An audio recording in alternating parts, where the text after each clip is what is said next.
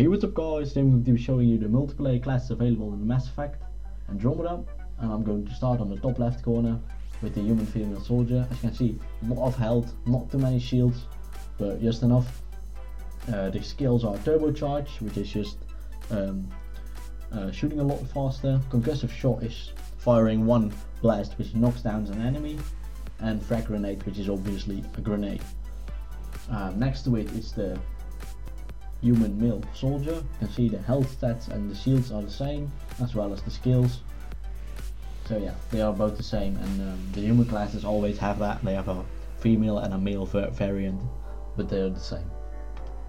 So next to it is the human female vanguard, which as you can see has the same amount of health, same amount of shields, but different skills. As you can see it's charge, which uh, as it says, charge you into the enemy. Nova, which makes a blast around you, um, dealing damage to your enemies. Um, and Shockwave, and as you can see from the purple, these are biotic powers, so they're good against organics. We've also got the male vanguard as well. Then we have here the human male adept, which is a bit the same as the Asari adept which I was playing, but then the human version of course. Um, and as you can see, still same health, still same amount of shields, different skills though. Singularity, what it does if if you activate Singularity, it'll create um, a little field around you, dealing damage over time to your enemies. Um, we've got Pull, which pulls an enemy towards you um, and out of cover, and Shockwave, which is a generates a shockwave, of course, which can go through cover and uh, continues to go, um, pushing the enemies uh, over. We've also got the female variant, uh, variant of this, of course. Then we've got the human male engineer. As you can see, still the same amount of health and shields, but again, different skills. The cryo beam, as it says, it's like a frost beam. It's like it freezes enemy and makes them slower. We've got the assault uh, turret, um, which is a little turret you can place on the battlefield, which will uh, assist you in battle, of course, by shooting at everything that lives. Um, and we've got Overload, which destroys enemy shields. Very, very useful against um, robot robotic enemies. And as you can see, the skills are tech based, for they are um, orange. We've also got the female variant of this.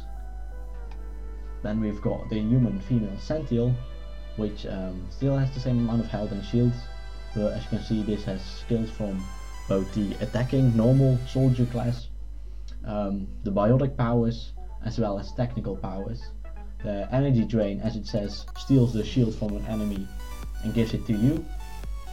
Barricade creates a little um, form of cover, which will, can, um, a bit like the robotic enemies could do um, in one of the survival videos that I showed, one of the multiplayer videos. And throw again is the same power as I said earlier. Then we've got the human male sentinel, of course, which has exactly the same. Then we've got the female, human female infiltrator with the same amount of health and shields. Um, the attack skills are incinerate, which is the same as cryo beam, except this time there are flames, which sets your uh, enemies on fire.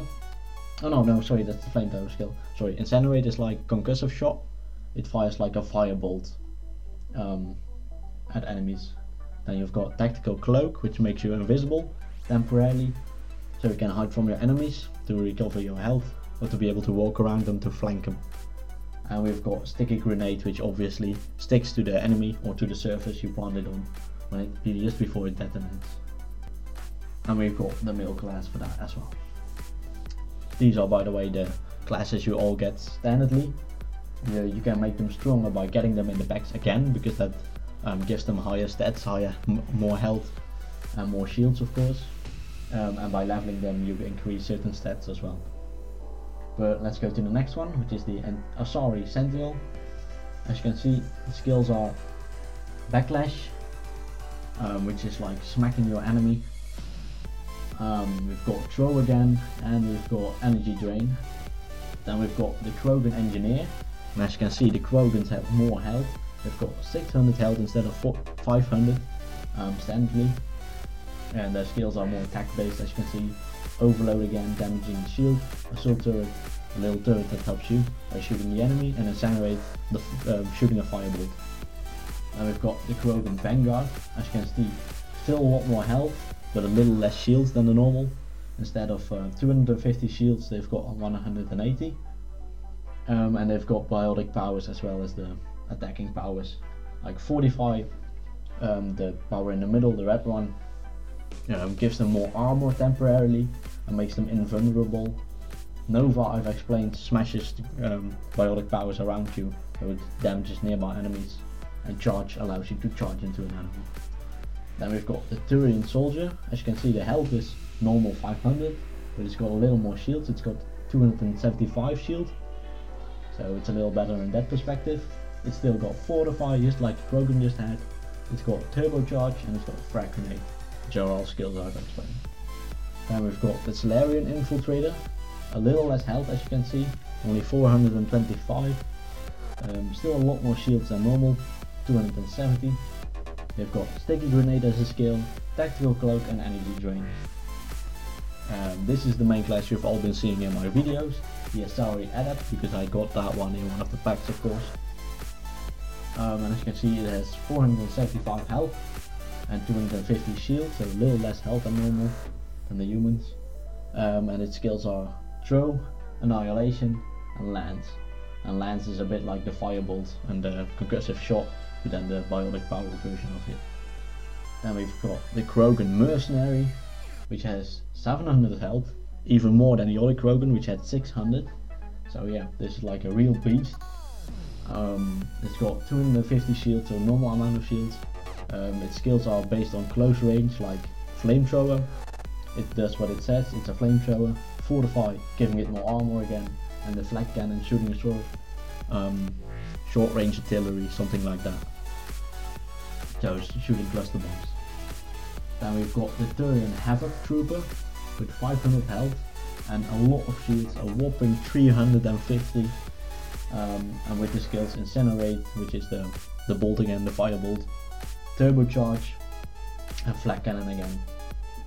As you can see, the further, we go down, the rarer the classes will be, so it, it will be harder to get these of course. Um, and we are now at the Angara Avenger, which has 500 health, 350 shield, so a lot more than normal, a sticky grenade, stealth grid, which I believe is the same as tactical cloak, except um, it's like an area of effect around you, so teammates close to you will become invisible as well. But I'm not uh, entirely sure about that one. And, we, and we've got the Avenger Strike, um, which is just I think uh, the charge ability from the biotic powers, but then the physical version of it. Up next is the Asari Duelist, which as you can see has 500 health and a lot more shields, like 300 shields they have. So that's very very nice. They've got the charge ability, the backlash ability and the lance ability. So yeah. Up next is the Angara Insurgent with 550 health which is a little more than standard. Um, and 250 shields. And they've got an even upgrade, they've got attack skill, skill uh, shield boost which gives them uh, more, even more shields temporarily of course. They've got the assault turret and they've got a trip mine which is um, a mine you can place on the ground. And if an enemy walks over it it will uh, explode of course. Up next is the Asari Huntress which has 550 health, a little more than normal, 250 shields so that's normal, the throw ability, the stealth grid again and the lance uh, biotic power. Up next is the Salarian Operator which has 425 health which is a little less but it has 270 shields to cover for it as well as the invasion skill which is um, a skill which I believe damages the opponent even though it has a shield. It's quite a lot of damage I believe. You've got the overload skill damaging their shields of course and shield boost giving them uh, bigger shields of course temporarily. And last but not least the human Kineticist character which has 425 health, 270 shields and has the skills pull, throw and lance. Um, yeah, all powers that I've explained already and by the way don't worry too much about the colors of the armor but you can change because you can change the colors of the armor if you want to to pretty much any color you want.